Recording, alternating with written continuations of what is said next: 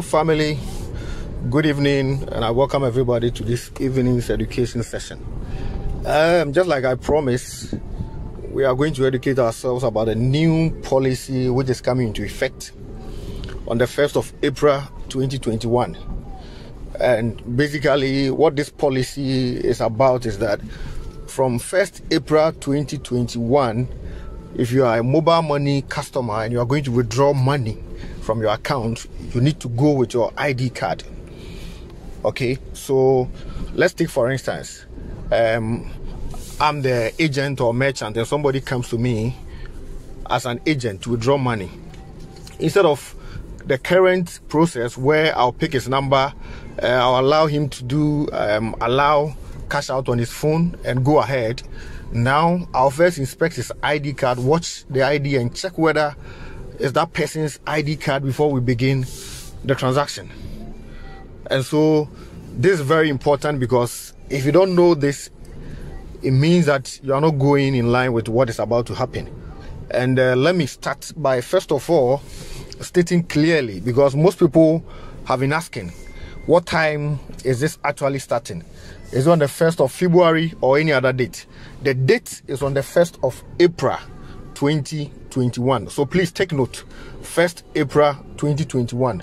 And so, as agents, as um, subscribers, as merchants, we all need to be aligned or we all need to be aware that this is coming into place because that is what you need to know before you be able to do the transaction for the customer that comes to you.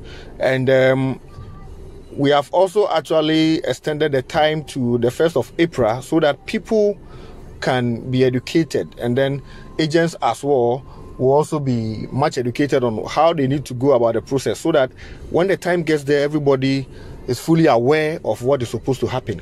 So basically this is what is going to happen.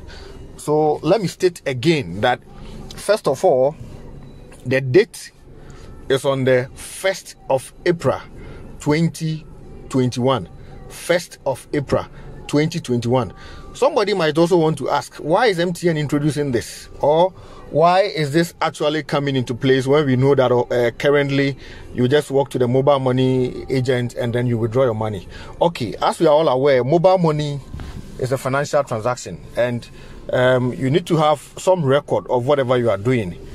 The number gives an identity to the customer, but if today I come to you with somebody's um, number that I want to withdraw money, how would you know? Unless that I'm having an ID card which matches my face and you know clearly that I'm, I'm, the true owner of the ID card, there's nothing that can actually show you that I'm the owner of the account.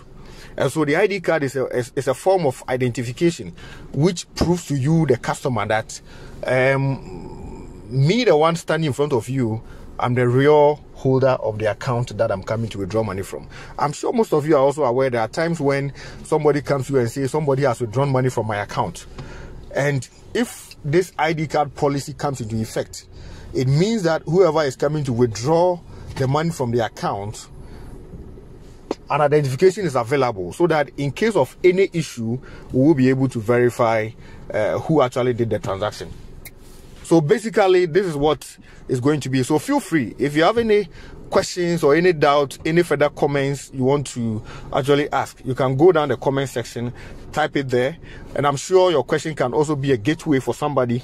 I will be able to answer it there. Whoever also have a difficulty in understanding that particular question you also asked, the person will be sorted out. So basically, that's what it's about.